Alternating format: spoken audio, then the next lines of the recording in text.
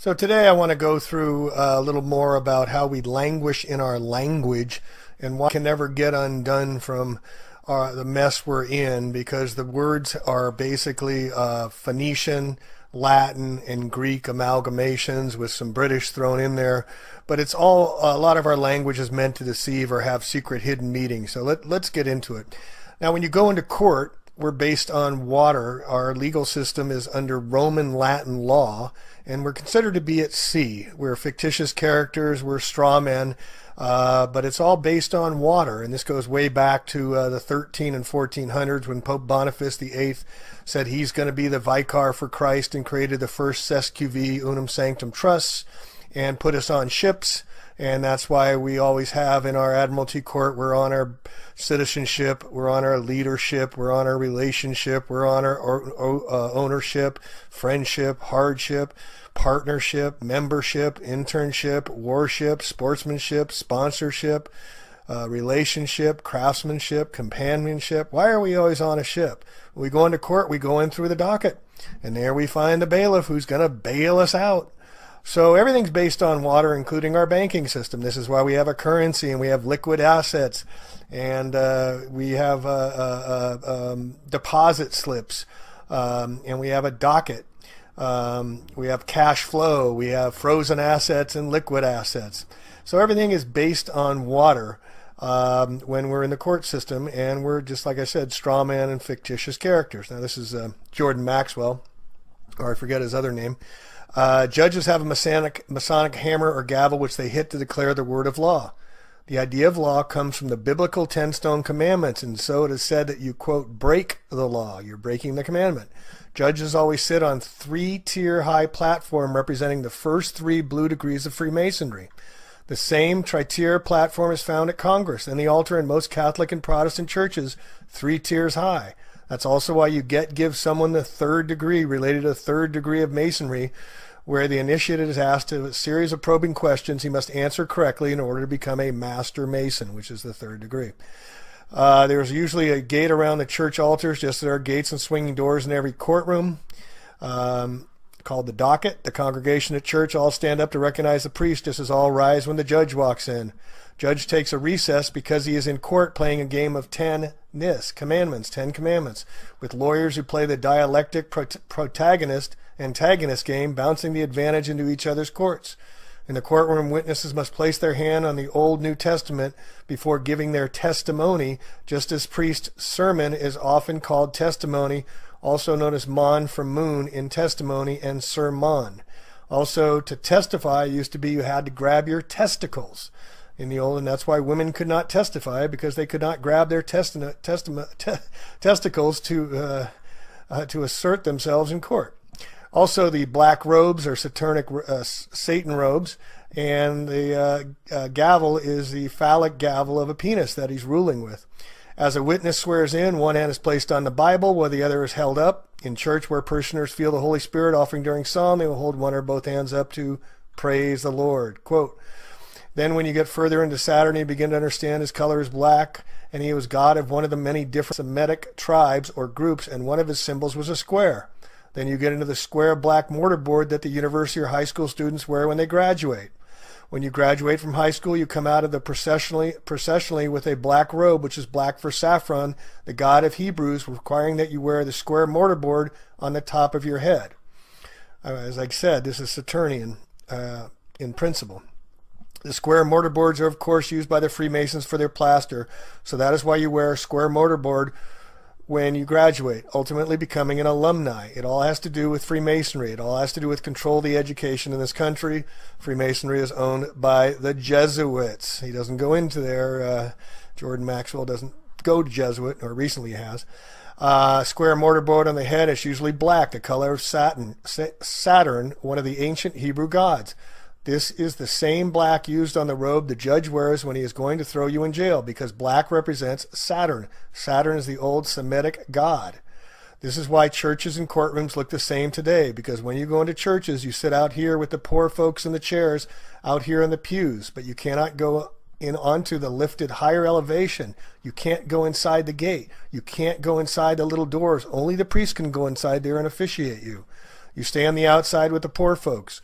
The altar is always raised at least three tiers because in Egypt that was the way it was always done. The altar was always raised so the people could see the representative of God dressed in black. The priest comes out of, on the altar dressed in black, and he's officiating for you. He is the mediator between you and God. That is the same thing that happens in the courtroom. You walk in and you're a part of the poor folks sitting out there on your ship, and here's the fence or gate that separates you. The attorneys, who are known as bar attorneys for British accredited registry, registered under the City of London, all U.S. bar attorneys, you must be a member of the bar to practice in the corporation of the courts, who are for-profit corp- corporations in our legal system, and the attorneys are pledged to the British accredited registry or bar, where the corporate papers are based in Puerto Rico. The attorneys go inside the gate, and you are the mouthpiece to talk to God and see if you can get off. And the lawyers will be the mediator between God and the judge who judges you and man. That is where all this comes from in our society of today. All right, we can go into court. We have a hearing and present oral arguments to plead our case. The spoken word over the written word. That's why it's Phoenician or definition. Definition. Get it? This is why we languish, Old French languir, be listless, pine, grieve, fall ill from vulgar Latin languere, from Latin languere, to be faint or weak, with our definition of language. Alpha, beta are the first two letters that make up our language. Once you start to understand the meaning of words, you will start to see this reality. There are four things to consider. One, definitions need to be understood. Two, etymology of words needs to be studied. It's the study of the origin of words. Phonics is utilized in everything. This is where the Phoenicians are attached to phonics. Example, there's three definitions that mean completely different things. There's a letter C, there's the ocean C, and then you can see with your eyes. Four word splitting, the practice of splicing words into various ways to find hidden elements contained within them. An example of the word splitting is language. Lang, gu, age. Lan means monster that protects the noble ones. Gu, the god of war, and age, the age of the zodiac. So the final meaning of the word language is a monster of war that protects the noble ones or golden gods throughout the ages. Language, as we languish. A little sidebar fun. Why do we have noses that run and feet that smell? Why do we drive on a parkway yet park on a driveway? Why at a ball field, if it hits the foul pole, it's considered a fair ball and a home run? And why do we call it a freezer burn? Did you notice the term words is an anagram for the term sword? Switch the letter S in the term words to the front and you get the term sword. The letter S goes one way and then the other. So it also crosses over the other side equally and can go both ways, like the S in snake, serpent, slither, sin. The letter M is shaped like a mountain. V for a valley. T as in top. B for breast and D for dome, and C for crescent. Do you think this is by mistake? Do you think this just happens? No, this is all by design, folks. Words are like swords because they can be used to harm you. In a way, words are more powerful than swords for the reason that they can harm or heal you at the deepest levels of your being. In Greek, the term word means logos. The word logos is defined as, quote, the source that controls the universe, the written word or inspiration of God, or a logical and rational argument. In ancient Greek philosophy, the word logos is defined as, quote, the controlling principle in the universe. Belief includes the word lie in it, in the middle, to be lying, be lying with an F. Alien, I a lion. They're lying to you folks about the aliens. And then when you tell your vision, you tell your lie to your vision.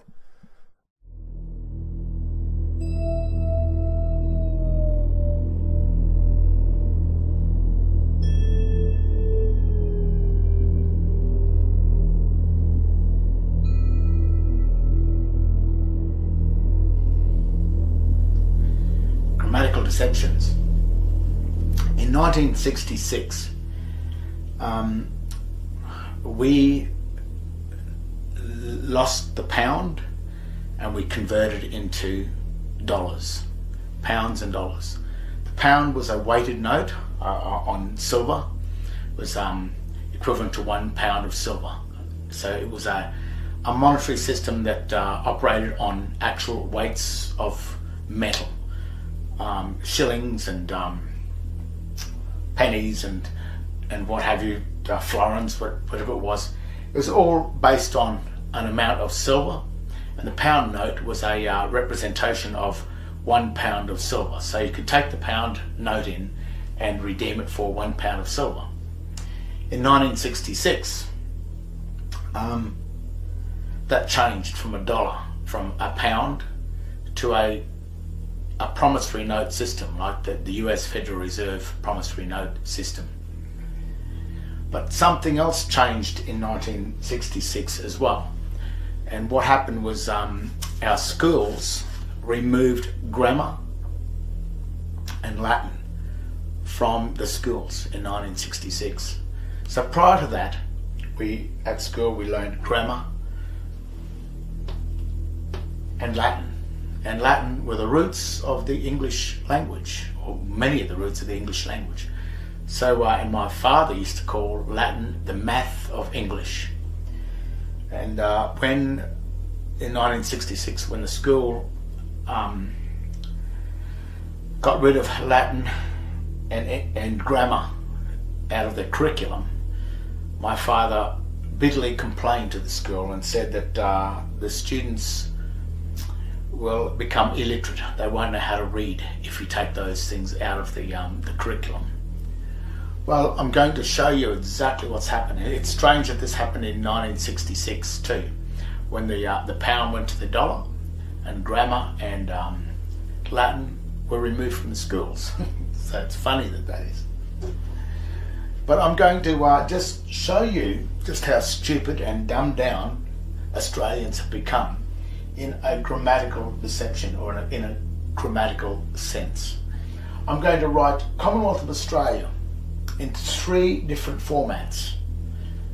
And you will be able to read the whole three of them, or you will assume you can read the three of them. But I'm just, after I've done this, I'll just explain the difference between the three of them. Okay? First, let's write it in English.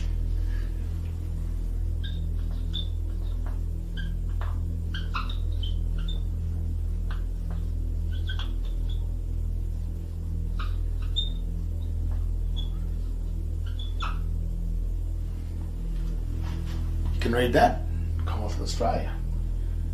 Now let's write it in ancient Latin. Now this is going to be strange. Not many people are aware of this or aware that it that it's relevant today. But ancient Latin is the official language of the Vatican. That's that's strange too, isn't it? So I'll write that. Okay. Same words.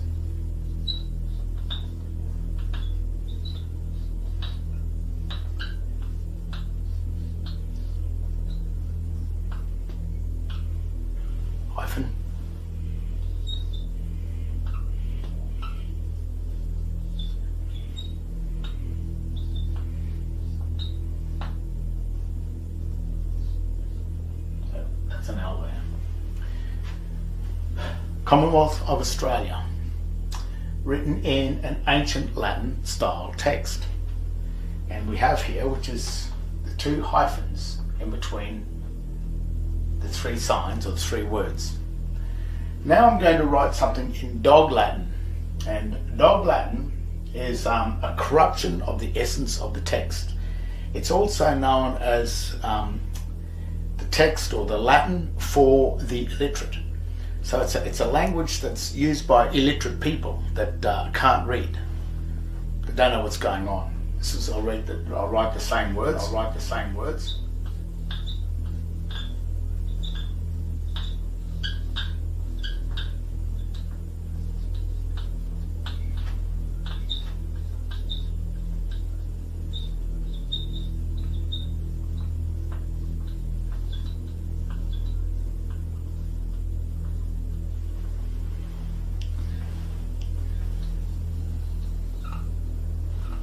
English.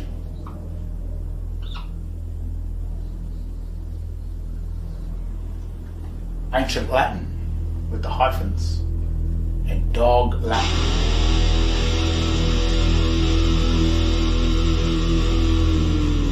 Latin for the illiterate, people who can't read.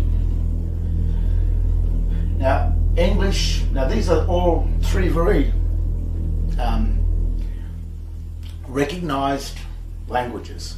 But the thing about the, uh, the grammatical standing of these three types of written language is that they don't have any jurisdiction with each other on the one document.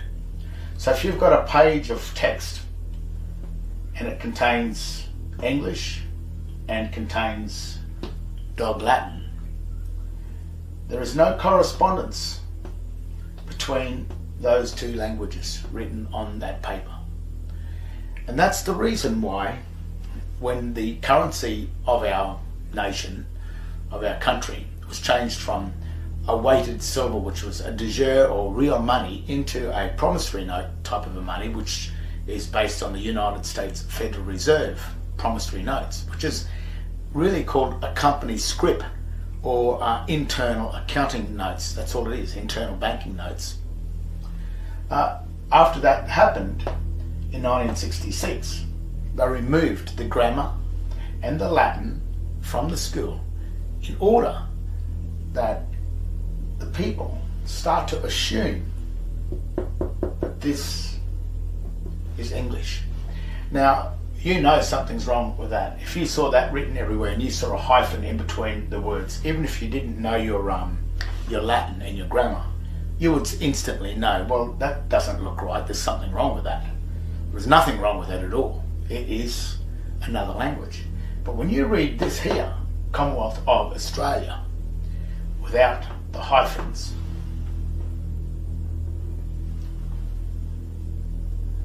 You will assume that to be English. And that mistake that has deliberately been allowed for you to do is actually what destroys you from standing as a true Australian, a national, or being a part of the real Australia into coming down here into being a foreign citizen of a private foreign bank. But all of the Australians that are in here, such as the Queensland Police, the government, or the government workers and all that, they believe that they are Australians. They believe that. But grammatically, and the fact, as a fact stands, they are the account holders of the Foreign United States Securities and Exchange Commission, the Foreign United States Federal Reserve, because this is a registered company with the United States Securities and Exchange Commission written in dog Latin. And it, dog Latin, the, the way they make dog Latin is by using the grammatical rules of English and mixing it with the written hieroglyphic, all uppercase text of ancient Latin. And by removing the hyphens, they use the grammatical rules of English instead of the grammatical rules of Latin, which are two very different types of rules, grammatical rules of each one of these texts, in order to make it look like um, normal English. That is the grammatical deception. I call it the Justinian deception because this whole system of deceiving people into going from the public, common English, going from common English public into the private contracts of Rome, the private contracts of, um, of Babylonian texts, of fiction, of a lie, is done through the grammatical deception of making you believe that this text is English when it has no jurisdiction whatsoever. So if you get your driver license or your passport and you assume that your name where it says your name, and your name is written in an all uppercase dog Latin text that is really a hieroglyphic sign or um, uh, illustrative text. It's it's um, symbolic text, which cannot be a name. Only a name can only exist in proper English as a capitalized with, with the with the uh, first letters of the each word capitalized that um, forms a true name. Now, now that you understand that, if you go onto the website under the Governor General, and you will start to see just how confusing things start to happen. Even if you ring the, the Governor General, ring the office and ask him, they've written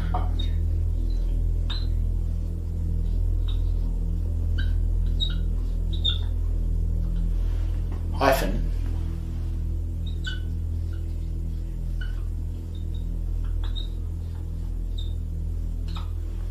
which is right.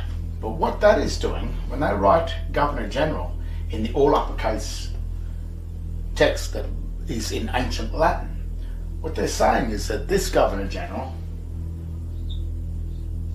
belongs to the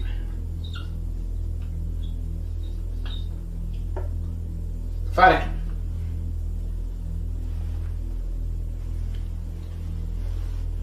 But then what they do,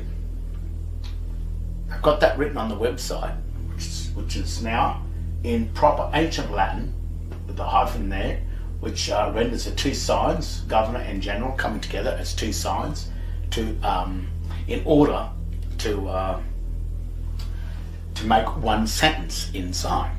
But then when they write it in English, in the common English up here, the, the, the correct language, they write it like this.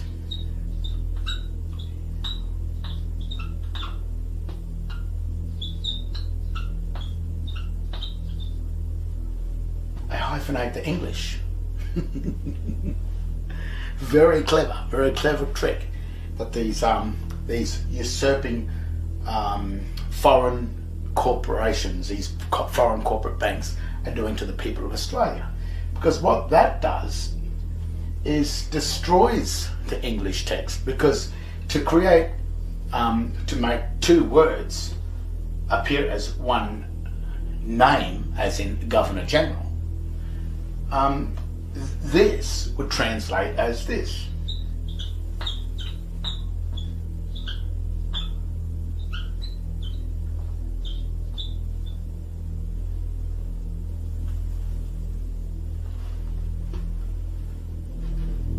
Governor Gr- Grunow.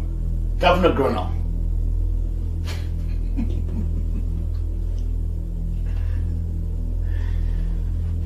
Because that hyphen there joins is used to join in English is used to join a broken word back together or join two words to, together as one. And that's how um, some words are made before the word is actually made into one word.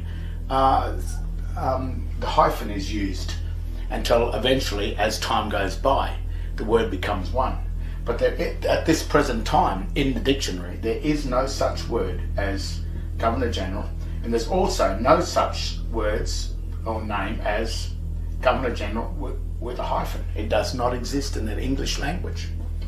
So what they're saying is that this Governor General is the property of the Vatican. The Vatican owns the City of London, the City of London owns the, um, probably more than likely owns the US Federal Reserve, and um, the City of London is the is the bar, and the bar are all the lawyers. So any lawyer that is in government, such as the prime ministers and and uh, what have you, most of them are, uh, or the, the, the, the, very prime minister that signed us up to Unidroit. Um, in 1973 was Gough Whitlam, who was a lawyer who had sworn an oath to the bar, and the bar was um, uh, was the city of London, which is one square mile inside London, that belongs to Vatican. So what's happened is somehow or other, the Vatican has taken away the proper, true government of Australia and replaced it with one of their um, corporations. But the only problem with the Vatican, even though it operates under um, proper, recognised uh, ancient Latin signs, we have been given a fraud. This is a fraud.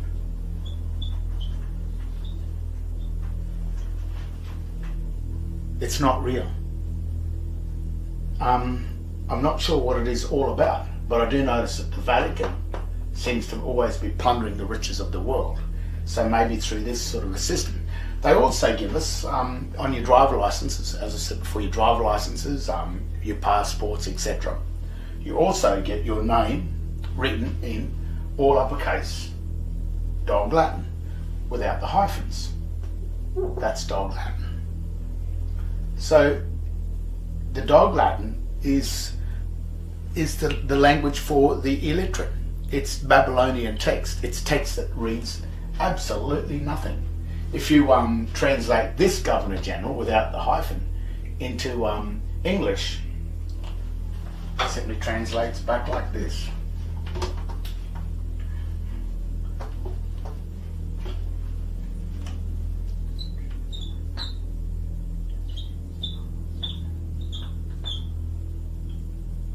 Full stop. General. Full stop.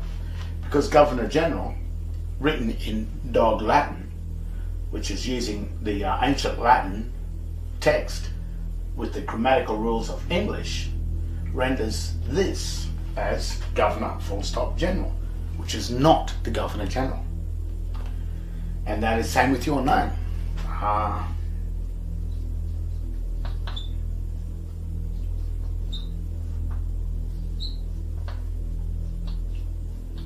written in that, like on your driver licenses or on your passport, etc., uh, translates to full stop, full stop, full stop. So the whole system is um, is a lie. It's just an absolute lie because they are using a dog Latin text which is a debased text under under Latin under the um, legal dictionary, Black's Law Dictionary. Dog Latin is the Latin for the illiterate, for the stupid people that can't read. But in the English dictionary, the Webster's English Dictionary, Dog Latin is a debased text, a, a debased language, and the word debased means in um, in the uh, Webster's dictionary,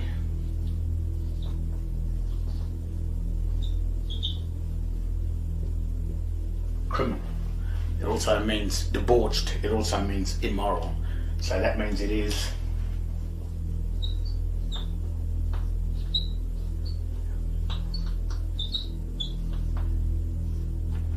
against God. You have to also remember that um, the people that are ruling this type of um, dog Latin world, this fake government, are people like the Fabians who believe in um, governments like Hitler and like Stalin, which is a which is maintains total control over the people. It puts the state ahead of the people, which is absolutely dangerous because we all know the history of Hitler and Stalin and other governments in the past, Pol Pot, that have used this type of system where the state becomes more powerful than the people. But the only way that the state in the past has come more powerful is guns. But this lot of governments, this new world order, are doing it through uh, deception, deceit, lies trickery. And uh, once they have gotten hold of a Hitler style or Stalin style government in as a one complete world government, then who is there to stop them? They will have achieved their absolute goal at total control over the population of the planet. And um, then the culling will start. I'll say it's for the better, but it only suits them. It suits them. Doesn't suit these. It suits uh, the Vatican, and it suits their corporations, and it also suits the one-stroke dollar. It's the biggest lie that's per- perpetrated. It is the biggest grammatical deception perpetrated against the um, the people of Australia, the people of the world, and that's how they did it through gram- grammatical deceptions of language.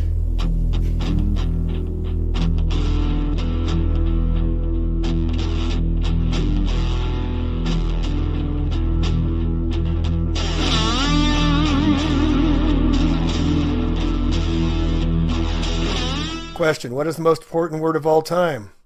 The answer is no. Most people will spell it N O, but the answer is K N O W.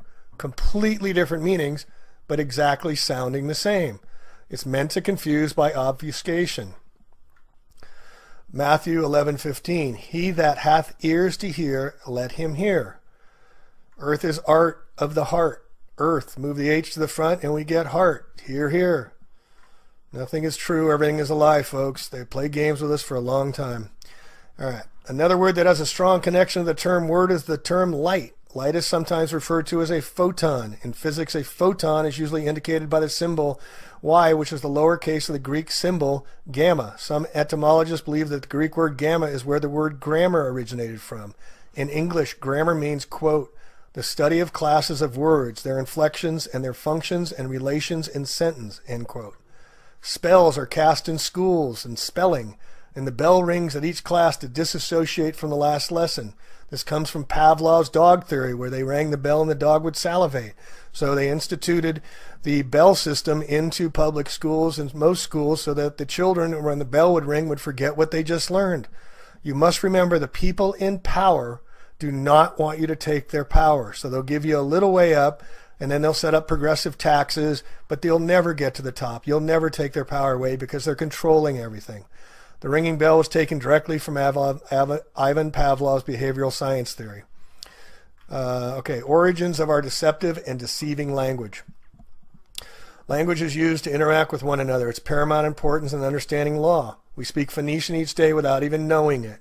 It's the language of sound.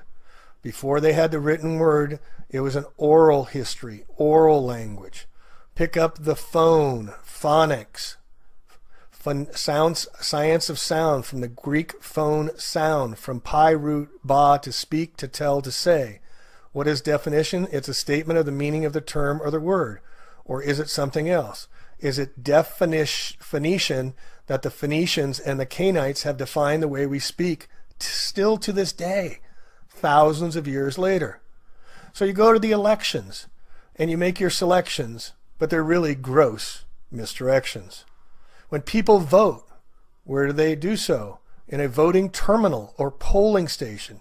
People are voting, not voting, because they are going to the polls, which the electric battery polls have positive and negative to place their votes on the candidate that they want to see out in charge. The politician that receives the most votes is that one that is going to be put in the position of power.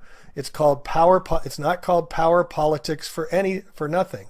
It's also why we got credit charge cars. We're using electric.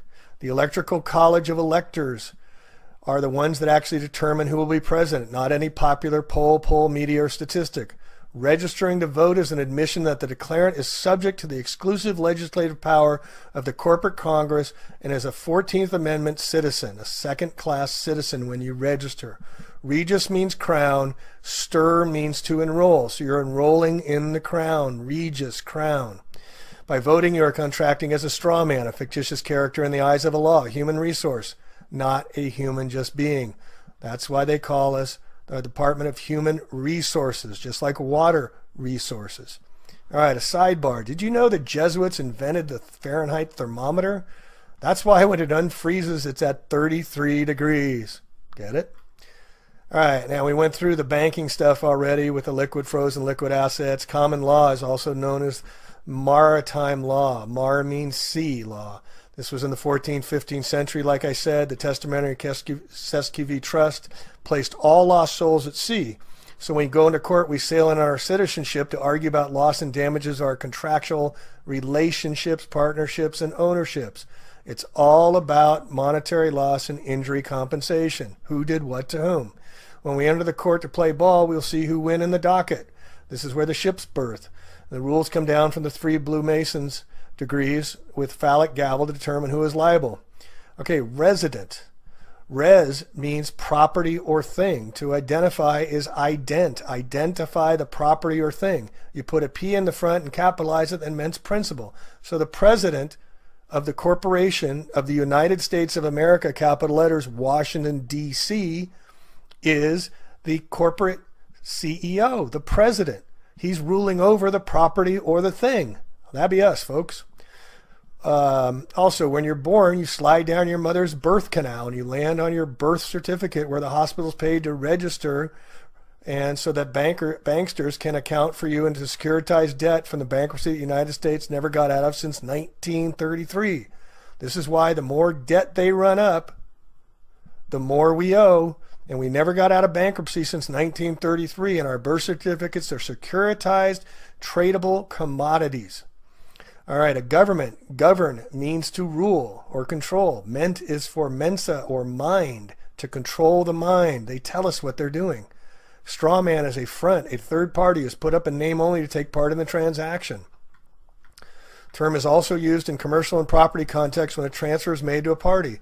The straw man for the purpose of retransferring the transfer in order to accomplish some purpose not otherwise permitted. We're, we're, not, a, we're not humans, folks. We're a legal fictitious entity. Since your birth, your artificial person has been considered a slave or indentured servant to the various federal, provincial, and municipal governments via your state issued, state created birth certificate in the name of you in all caps.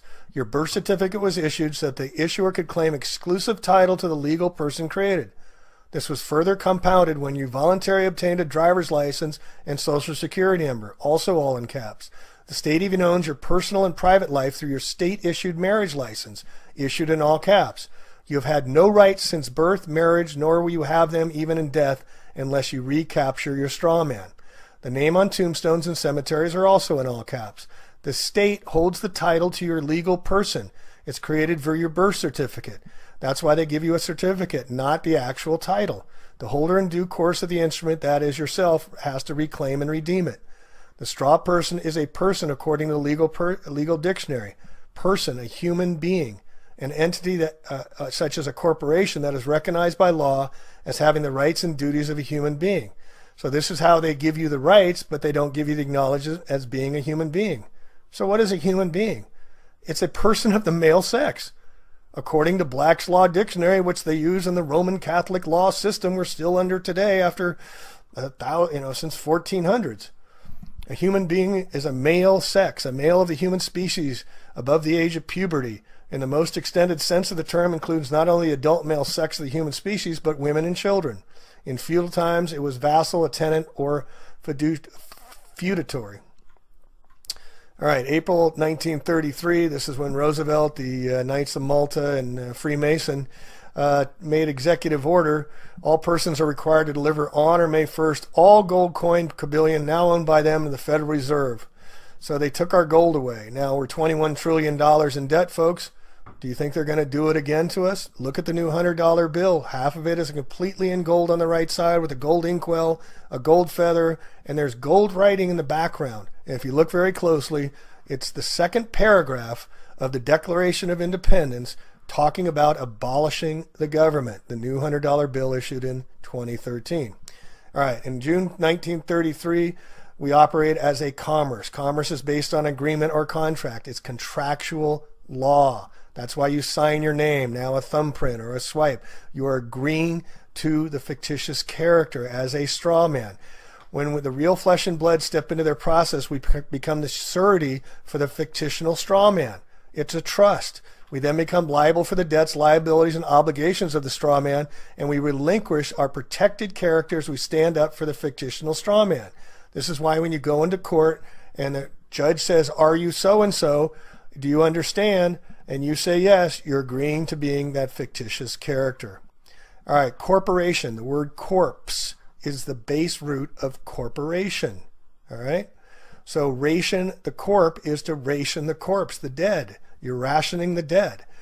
All right. And in Law's dictionary again, only his successors in some particular station who are unincorporated by law in order to give them some legal capacities and advantages, particularly that of a perpetu perpetuity, which in their natural state as persons they could not have.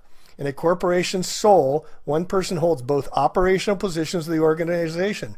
A corporation's sole may be established under legislative authority. It is considered by statute a citizen of the government. You are owned. The people are in there are in the state national government at that time. The public government is artificial entity. Who is a government? Point to me as a person being a government. The government is owned and controlled by the same people. It's a sole organization, not an aggregate organization.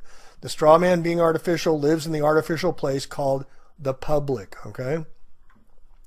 This is necessary and proper because the creator and entity has the right and control of it. So they we create it by signing our name, and they take control of it by putting it us in their system.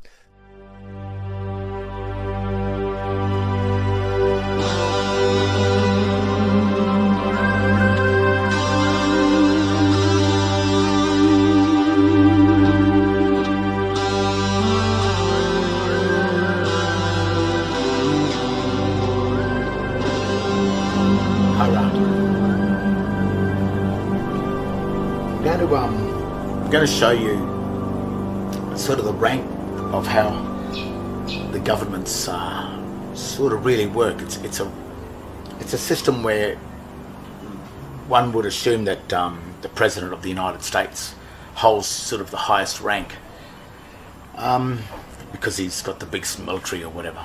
But that's not quite so. There's ranks higher than him that he must um, uh, obey so to speak.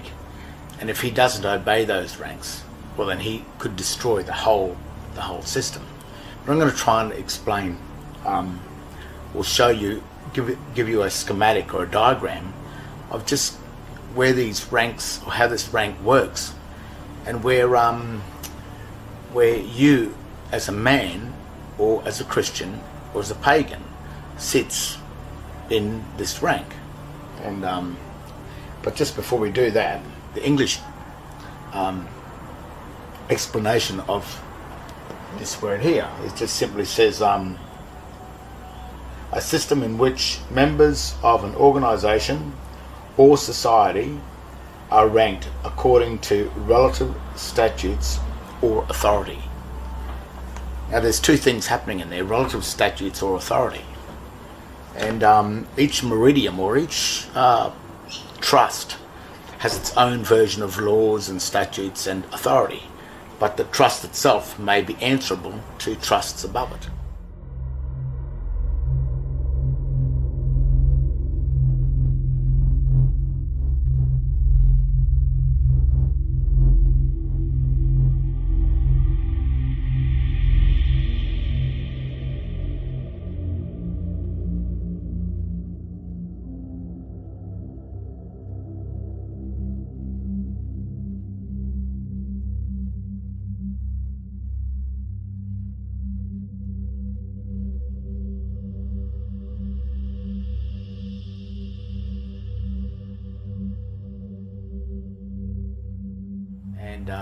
That's the other thing where some um, government workers and some police officers and what have you, uh, even some lawyers, are not quite understanding this, the way this system really works. Uh, just a quick rundown of just how the authority kind of works. And um, first of all, we have God. Uh, this God is the um, is the God of existence. He's, this God is the one that created all the things that we can see, the world, and and that God is the one that um, we don't really understand. We'll never really comprehend how this whole thing uh, exists or is made, and we don't really have any um, ability to question that either, because even in trust law, as the hierarchy goes down, um, this type of system, uh, the, the, lower ranking officers are subordinate to the higher ranking officers. So we'll, we'll just see this. Now, even in the Bible, it says never put God to the test because of the type of system that we're, we're dealing with. It's a trust law system. The next thing is man. God, man. Now, you know, in um, Adam and Eve and in Genesis, God created man and breathed the life into man after he made him from the earth. And this is basically stating, stating that man has a birthright to the subject matter. He's a part of this world because this God created the world and also created man in it. That is our true God. But I'm going to sort of show you how we've lost, we're losing this God. So you've got to be careful. Um, the, the next thing that happened was in the Garden of Eden, God granted dominion, which is the highest of authority, to man. And what man did um, what, what happened in this by granting the, um, the absolute authority, the legal title to man, that granted the equitable title with God. So man was holding the legal title to God. God was the, the director, and, and this is still evident because um, when this God decides to uh, have a volcano or, or create a, uh, a massive earthquake or create a massive storm, there's not much that man can do about it. That's that's the fury of God. This God, no matter what you do, hate him or love him, whatever happens, you can't question that, and you can't do much about it either, because his fury is of the greatest.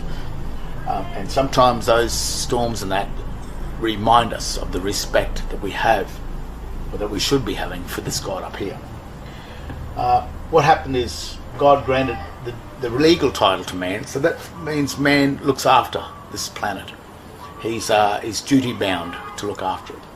But what he has done, or what's been offered to man, is this thing here, which is called the Vatican. And what that means is V A T I can.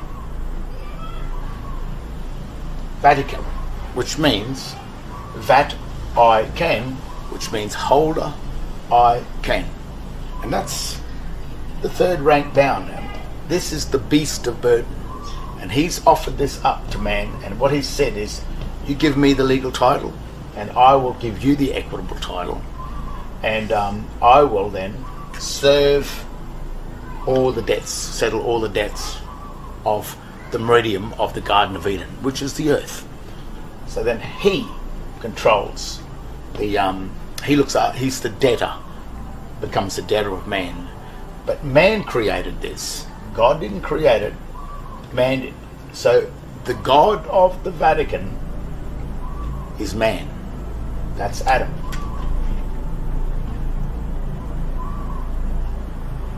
That means man. Adam means man. Now, why would someone want to pay the debts of man?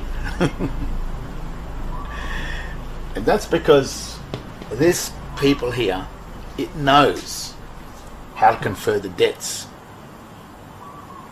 of man back onto man. now, the next um, hierarchy down is the debtor. So the Vatican creates a debtor for the Vatican. Man created the debtor to pay the debts of man. It's the Vatican. The Vatican creates a debtor. Babylon.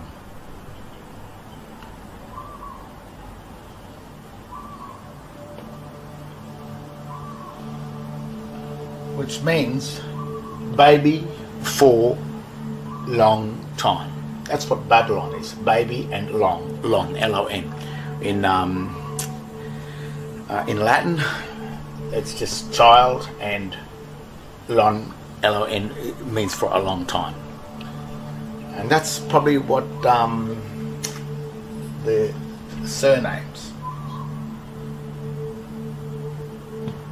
and the the infant surname, an infant, so that when you um, when you're born, you're birthed into this state of Babylon here, which is really also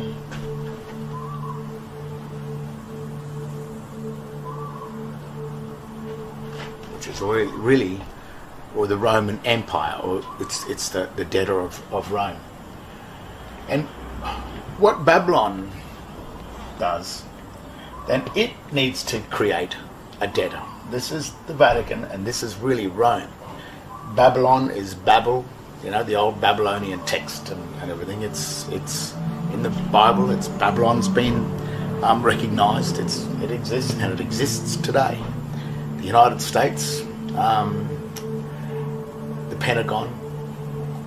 That's Babylon. I'll even show you why with the Babylonian text as, as well. And what Babylon has done is it created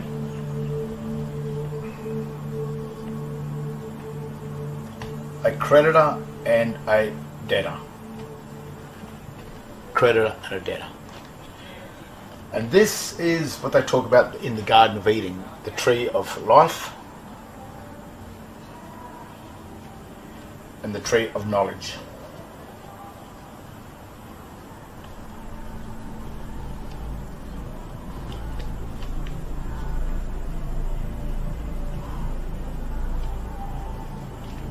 Tree of life, tree of knowledge, creditor, debtor. And these two things were accounts. So Babylon had to create to create a um, remedy inside this, and to, to get man to pay his own debts is to is to turn man into either the the debtor of the of Babylon, so that Babylon could be the debtor of the Vatican, so then the Vatican could be the debtor of man, so that man is the debtor of God. But what this thing here is trying to do is get rid of man, because this is the serpent, the usurper, it usurps in, and if it can get rid of man, uh, that all of the debts that are paid to Babylon and then to the Vatican, if man isn't there, then he gets to keep the loot, keep the gold, keep all of the debts of man. Vatican, the very symbol is also Vatican, holder I can, and holder is is like a valley, which is the banks of a river. It is, it is the first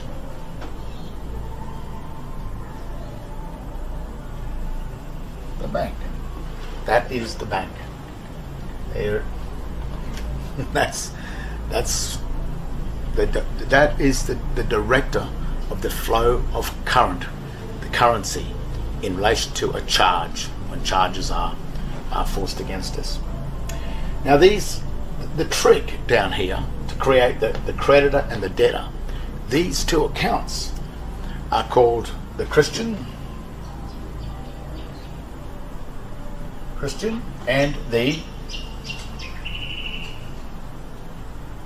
pagan. Christian and pagan account.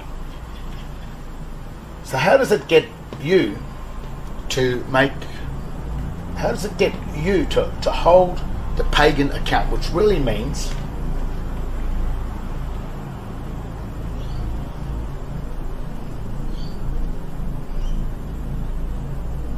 the pay again account. Pagan, pay again. So why this is paying again is because man's already paid. It's already his debts are paid by the Vatican. The Vatican are going to get man to pay the debts again for the second time.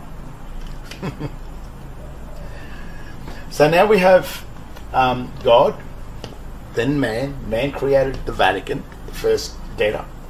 Uh, the Vatican created Babylon. And Babylon created two accounts the Christian account and the pagan account.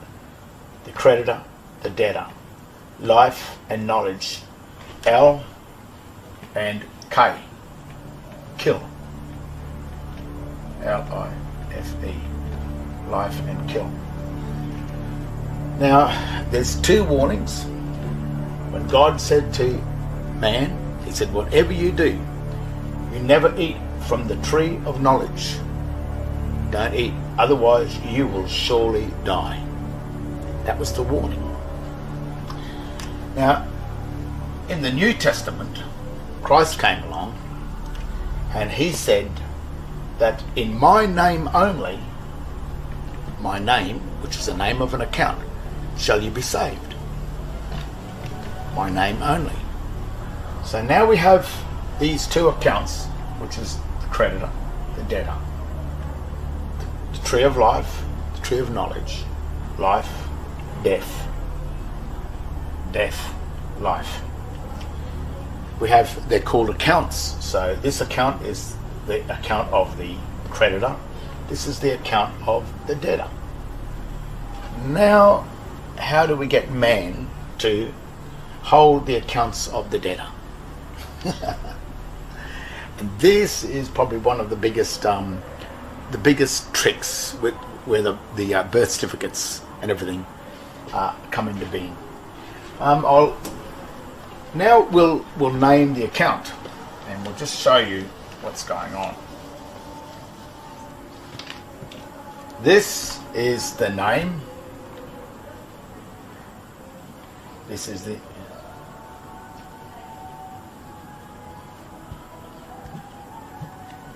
name and surname. Have you noticed that's that's on your birth certificate? And then when you look at your birth certificate, let's talk about John Paul Smith. John Paul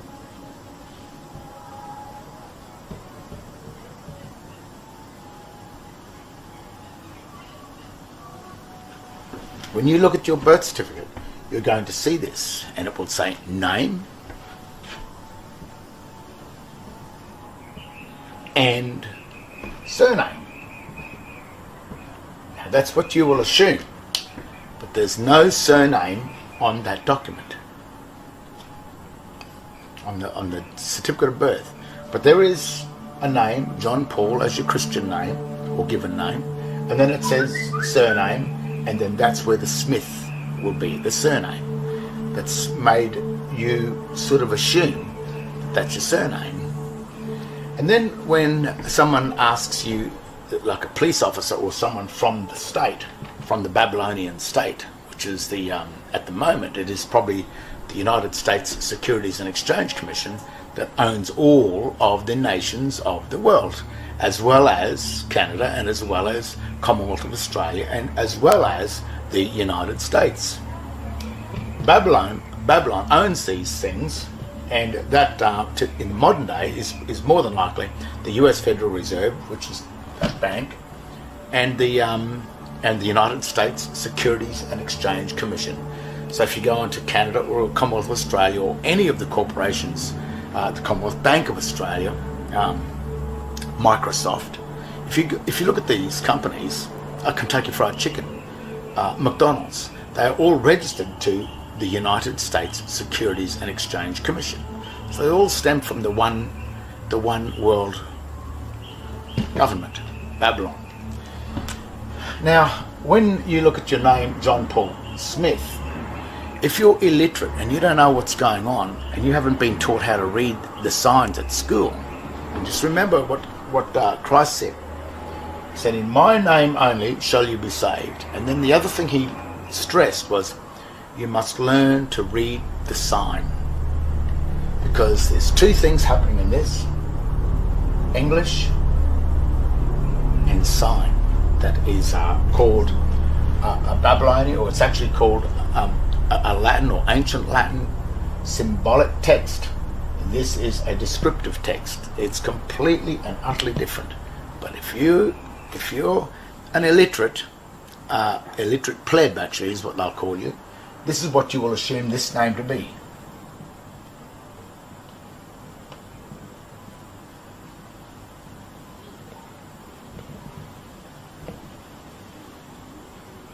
So when a police officer comes to you and says, uh, "What's your name and your date of birth?" you'll say, "Oh, sir, my name is John Paul Smith." and yet, the name written on the birth certificate says John Paul. So straight away, someone's made an error, someone's made a mistake.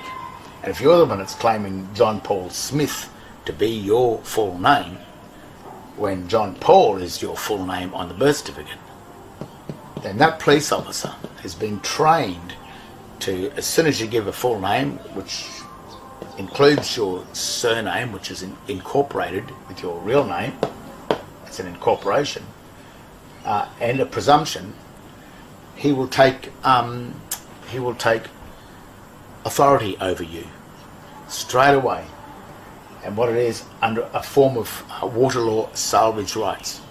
Because you're not John Paul, you claim to be John Paul Smith, and John Paul Smith, in law and in fact and in reality, John Paul Smith does not exist. Only John Paul, in fact, exists. John Paul, in reality and in fact, John Paul Smith, in reality and fact, does not exist. So that enters them into the world of fictions. So rather than you being a man, you will become down here a oops, a human. A human, which is the colour of man. Now, when you look at the um, the dictionaries again, um, a human, human, is a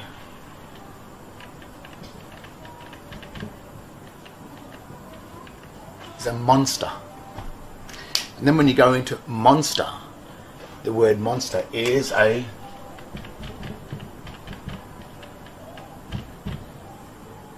is a fiction. A monster is a fiction. John Paul Smith is a monster because he is a fiction.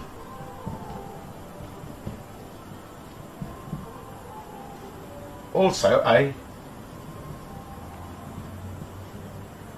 human. And the other thing that which is very strange about this is the minute you incorporate any two items together, any two things together that are incorporated um, in relation to the Vatican or the water law, it um, it becomes a person.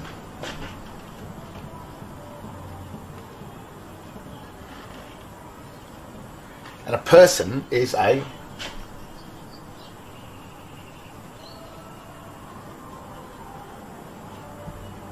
a corporation, corp speaking, which means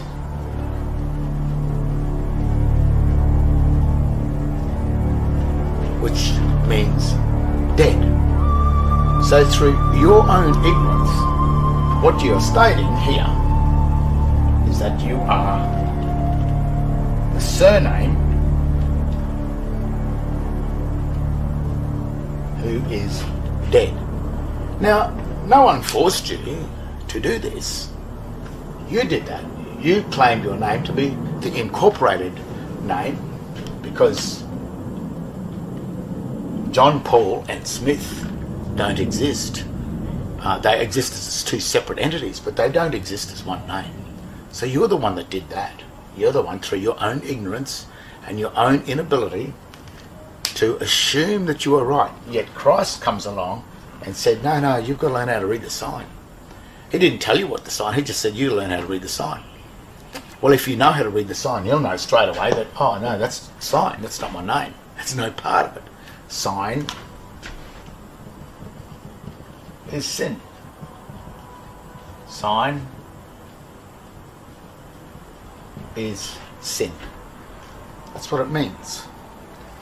Um, even the, the, the words S is the snake, I is one, is U, I, and N, S I G, which is a governance, and N is uh, mountain and water, which is the um, which is the Babylonian um, uh, which it's not Babylonian. It's it's the two sides.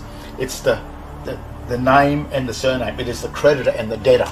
N is M is the mountain, and water is the sea. This is the mountain, which is land. This is the sea. But the N, when written, is the two, the two combined. So in the symbolism, when it looks the symbol, this is the snake, which is Satan.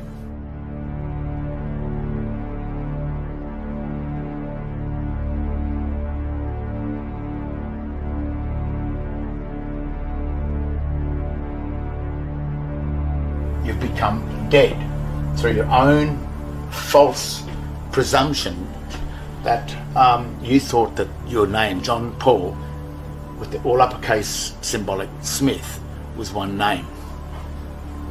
And the minute you incorporated and you assumed that, this is what you became human, a fiction, a person, a corporation, dead. And of course, a monster. And monsters have to be controlled under um, under statute law. So you've been under the control of statute law, which is not free will, which is under what Satan wanted. You're under the control of S, Satan, and Satan, or um,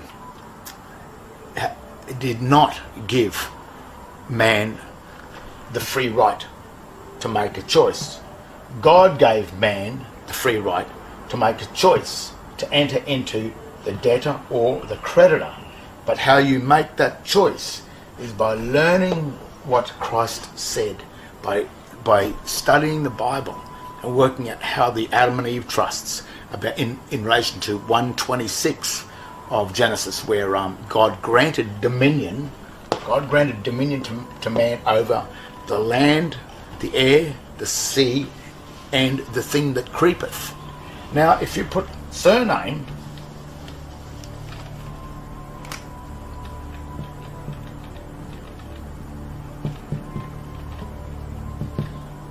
into the Latin dictionary, surname means the thing that creepeth up from below.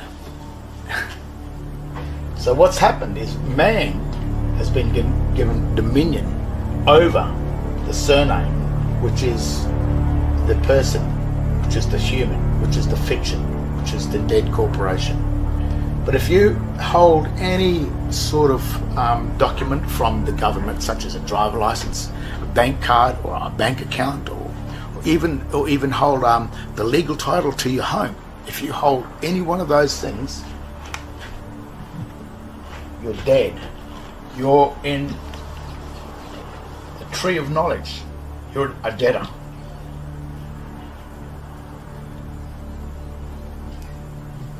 You hold the legal title to it and you have lost your equity because in trust law he who holds legal title cannot touch the equity without license and this goes right back to the garden of eden because when when adam ate from the fruit of the tree of, the, of knowledge which is the tree of the debtor when he applied for the credit card the minute he did that he was thrown out of the first garden.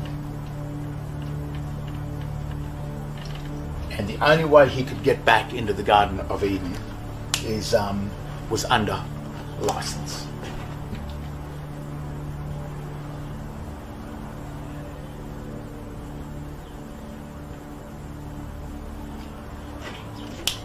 Now remember that that um, that maxim he who holds legal title cannot hold the equity without license. And the license to hold the equity is granted from Babylon, which is the Vatican, which is the bank. So when you sit down here, when you're dead, then you need a license to do anything at all. And that's what's happening to you. You want to go fish, you want to do anything, you want to drive a car, you want to, because anything you do in Eden, well, while you're the debtor, uh, you must have a license. Now remember what Christ said over here. He said, In my name you shall be saved. So what happens is this name here, John Paul is the creditors.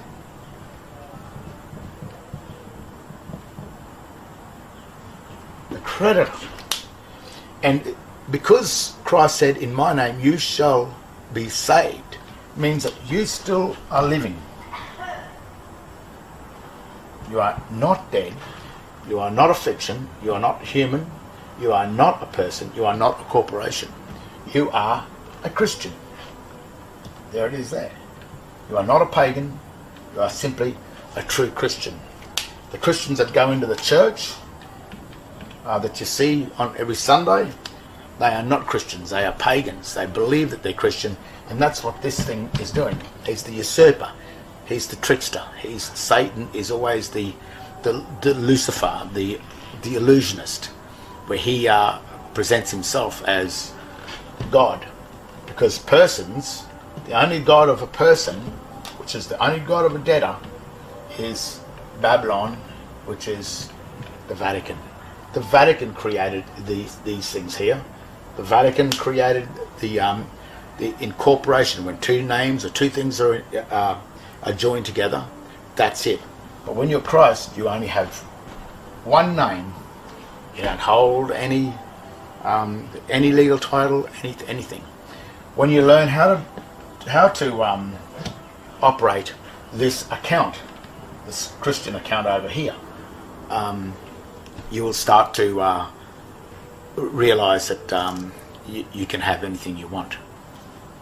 Ask and you shall receive, and, and that's how it really does work. Now, the account name, just to finish off, this is where the trick, the real trick, has been in here. The Christian account or the credit account is John Paul,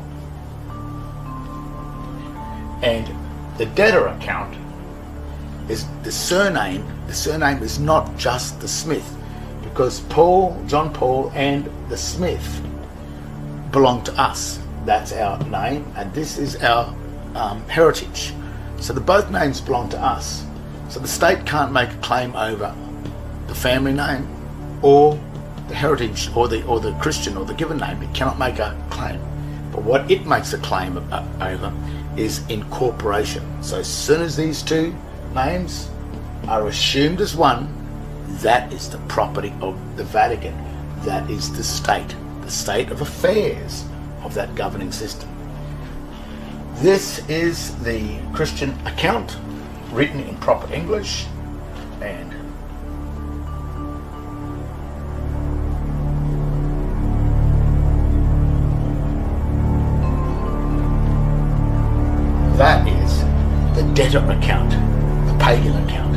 That is so if you hold this name here in proper English, uh, you become the debtor. So when you walk into a court and say, I'm walking into this court, I am a free, I am a living, breathing man. Well, yes, you might very well be that. But the magistrate, who's the, um, the administrator, which is Babylon, and the administration, well, it's here. That's what this thing is. Here's the I on the bill. The administrator, which is the magistrate, the man will walk in, I am the living, breathing man, Your, Your Honour. And he will say, Yeah, well, that's fine. Do you hold a driver license? Uh, yes, what's your name? My name is John Paul Smith.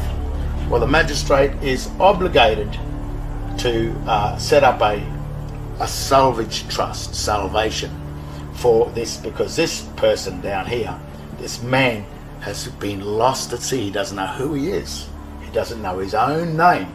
And there's another maxim is if you know not the name of the thing, the thing itself is surely lost. So if you walk into the court say, I'm the man, but my name is John Paul Smith and I hold a driver license. the poor old magistrate, he says, oh, you know, what can I do about this? Okay, so he sets up a trust and then gives him a little bit of um, uh, justice that seemed to be done to make him feel a bit better, but still whacks him anyway. And whacks him as a debtor. And then once he's got the debt, he can't get he can't get out of it. you've got to pay because debtors pay the, the bills. And if you're one of these, the full-on debtor, that's agreed to be um, John Paul Smith, because you read John Paul and the Smith in sign language and you assumed it together. That's not his problem. You assumed that. You didn't do your, your homework. You didn't learn how to read the sign. You didn't learn your grammar. You learned nothing. You, you remained as a, a pleb, as a dumb idiot, as, as someone that's. You just remain dumb. So the, the magistrate, he's just got to administer you. The Vatican, he's got to administer. He's got to administer all of you. So what he does is that he throws you on the Vatican ship at sea in the Holy See, and you you lose all your rights then to land law. You you lose your your standing as man and as Adam, and only because God said, "Whatever you do, do not eat from the tr- the tree, or the do do not eat the fruit, be a usufruct of the debtor account. Don't do that. Otherwise, you will surely die." There's you there.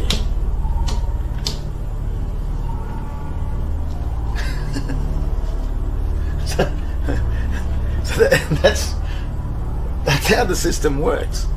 I know it's a um, it's got nothing to do with law.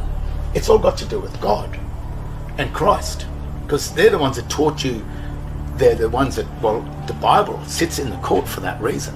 If anyone says that um, it's not spiritual, it's it's it, of course it's spiritual because when you walk into those law courts or those courts, they're not courts, they're tribunals. They're chambers, and a chamber is a tomb. They're dead. That's why the magistrate's wearing that black robe. He's mourning the dead. And you're walking in there and you are dead. People go, oh, poor fellas, they're all dead. And very rarely does any one of these ones come into that court.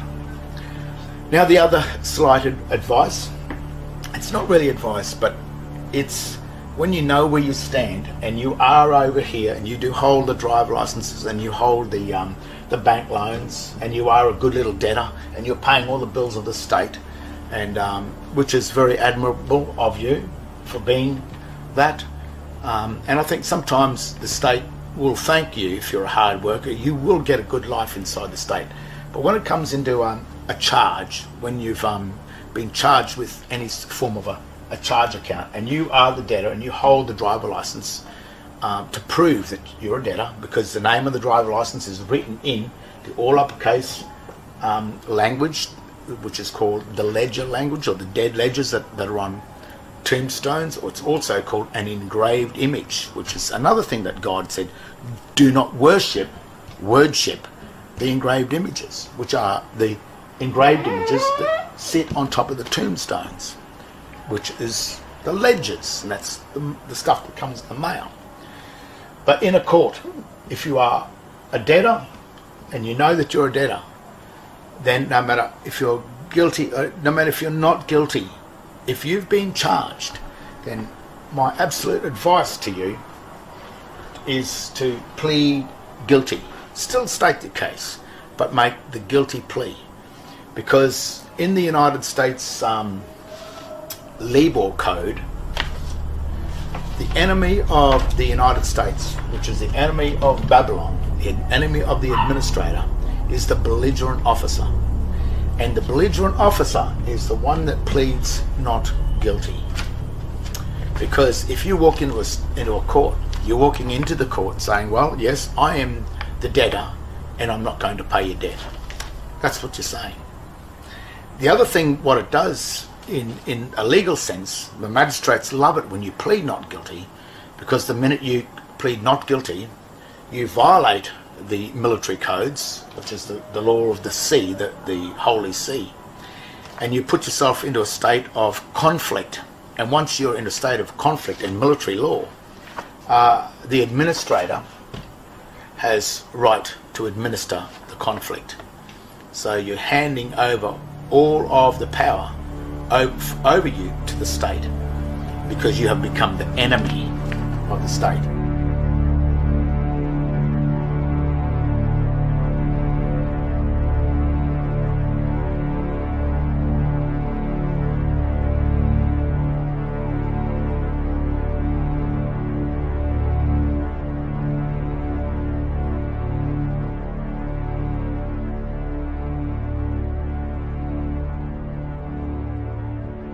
You're not guilty, you can only plead guilty and say sorry. Because when you have operated, when you've walked into this and you've chosen to be the debtor of the state, you have no rights. And don't even try and don't try and get them. Especially the idiot people that walk in and say, I am the living man. You got a driver license? Oh yeah. Lost. Completely dumb, stupid. The other thing is, do you need to come back to living man? One of the biggest things is the, difference between coming back to being a living man. You don't have to be a, a living man. You don't have to come back to walking into that trust because this is outside the system. Um, once you simply hold the creditor account, Christ becomes your your trustee. Christ is your trustee, and uh, that that's all evident on the second certificate of birth, because on the second certificate of birth, it states in black and white that the full name John Paul Smith is in the custody of the Registrar General of the certificate of birth, which is the state. So it's st- stated on that and signed. They've even told you that they um, own this, and the minute you hold that, then you become the trustee of the Registrar General. But if you don't hold this name and you simply hold this name here, then you become the director of the Registrar General. You don't have to come back to living man because Christ has given you a remedy within the world of the dead, which is the, the, the dead corporations, which is from um, from Christ on down to 2017 BC, uh, AD. Uh, from that time, we live in the world of the dead, in the chambers of the of the water law. But inside that system, the Christian trust is the remedy within the world of the dead. Uh, the minute you walk into a um, church, above every church, you will see that sign. And that sign means that's why it's found on top of tombstones as well. It means dead. So when you walk into a church, you know that uh, that is the house of the dead. If you are this over here, a true Christian, then you don't walk into those places because that is for the quasi-Christian, the, the, the people that that think they're Christians, but um, but they're not. Uh, even other churches, you'll you'll see that if they ever use this type of uh, writing, the um, the all uppercase text, um, then if they're using any form of symbolic text on the signs or any form of sign language, it's another dead giveaway. Uh, that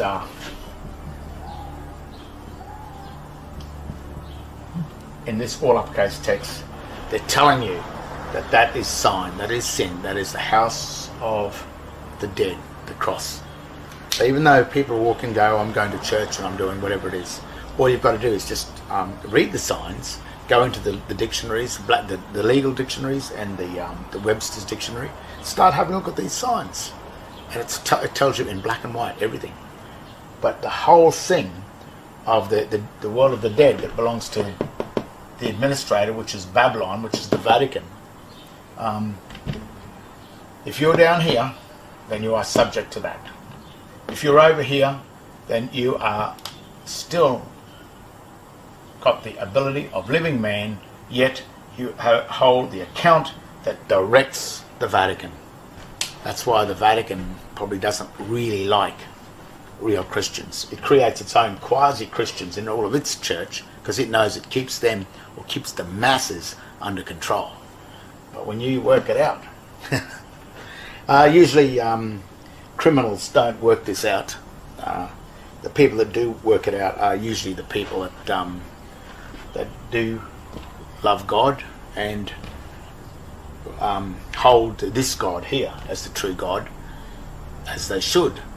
And when you do that, then you are subject to the laws of the Bible like the 18, the, the statutes that make up the Ten Commandments, and also Christ, which is if you love your um, your neighbour in a spirit of brotherhood, then no war would ever happen. But uh, people that are with this God know, automatically know, that uh, they are subject to the to the real laws of the Bible, and um, and they wouldn't do anything against their own brother or their own neighbour that uh, they couldn't, that they wouldn't like to happen to them. So the people that do work it out and that don't need to be controlled by the state don't need to be controlled by the state because they are the true solemn people that uh, that have worked this out.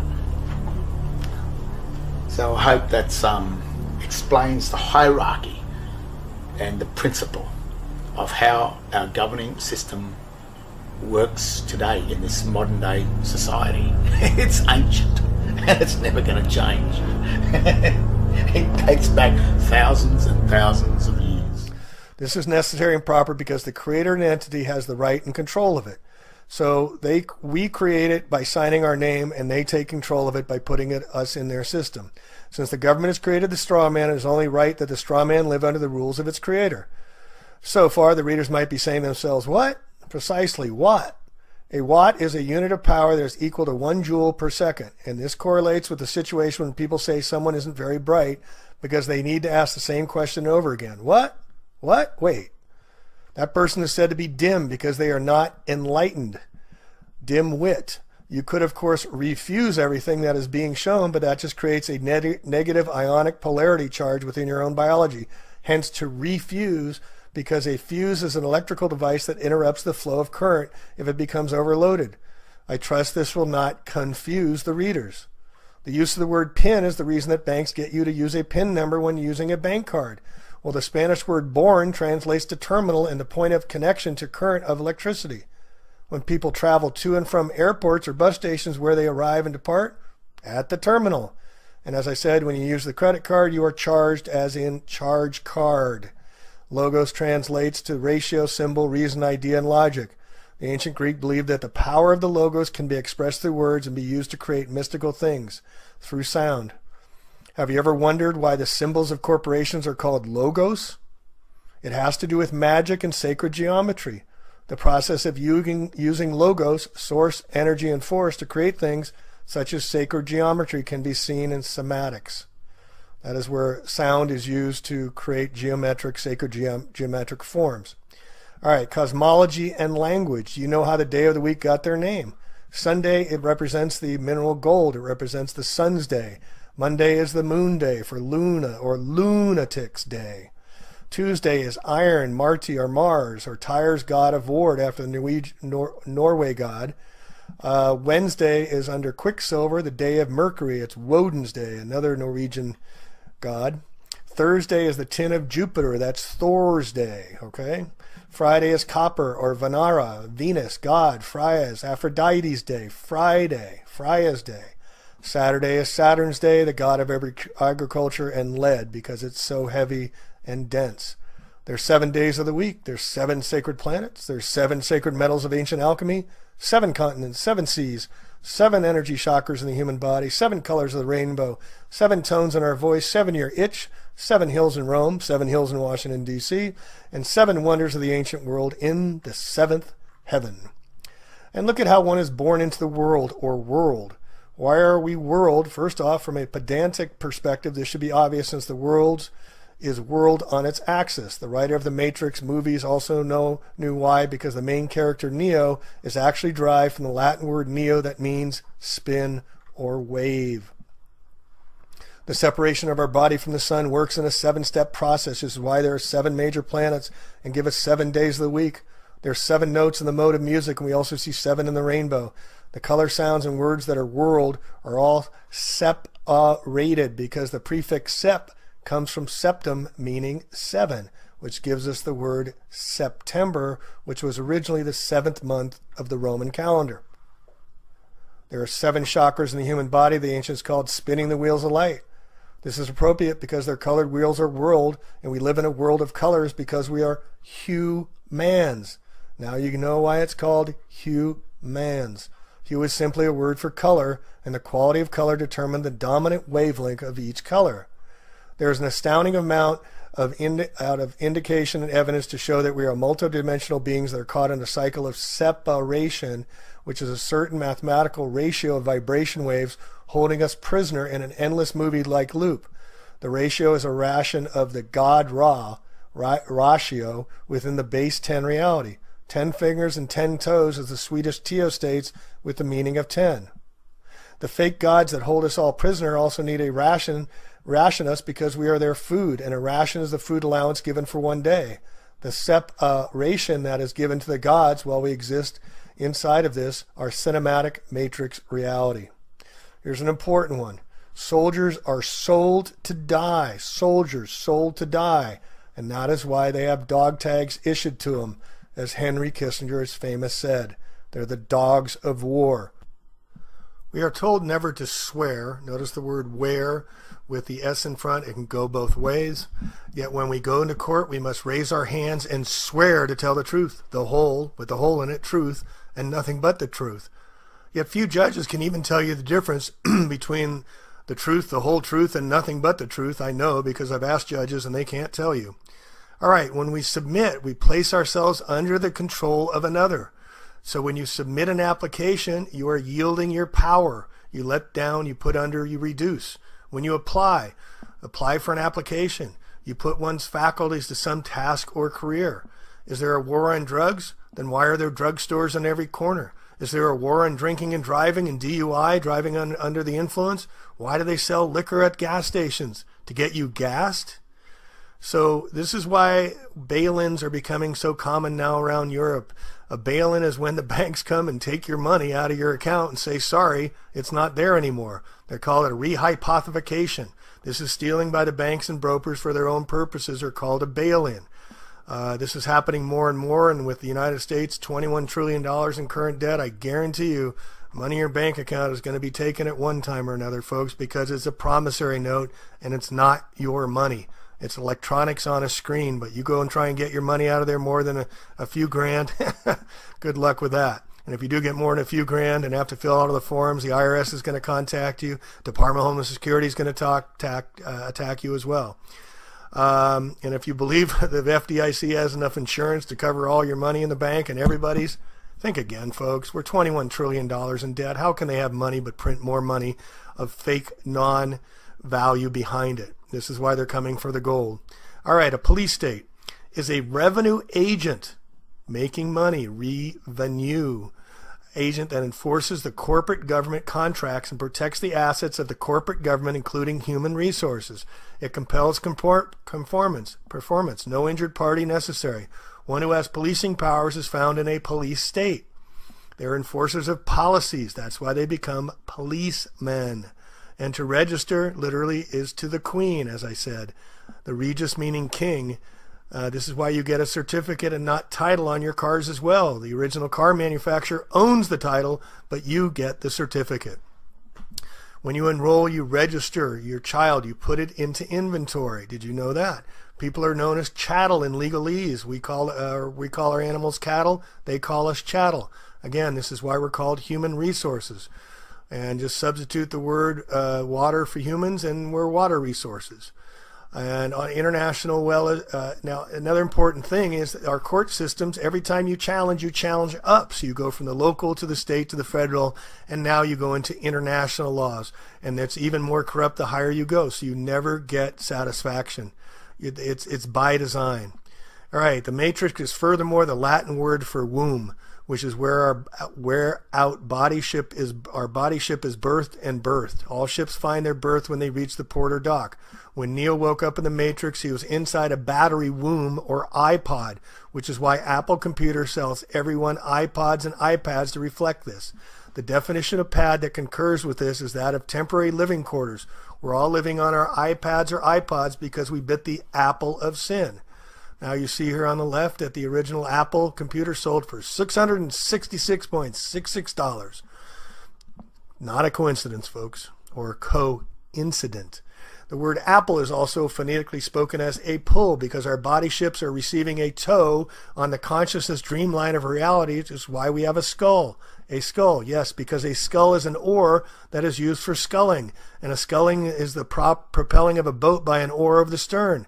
John Sculley ran Apple Computer for 10 years. Another coincidence. Everything in this reality is designed to make us fearful, and this starts right at birth. It has been said over and over again to humanity that man is born in sin. Man bit the apple to then continuously be reborn in his, her, his or her Apple iPods, which becomes unrepayable debt. That is why uh, Webster's dictionary defines English word debt is sin, to pay the debt of sin, which is the price of our birth or birth in the moon. Remember that seven days of the week do not include an earth day, since man is truly born in sin. All right, another important one. How do you say hi to somebody? You say hello.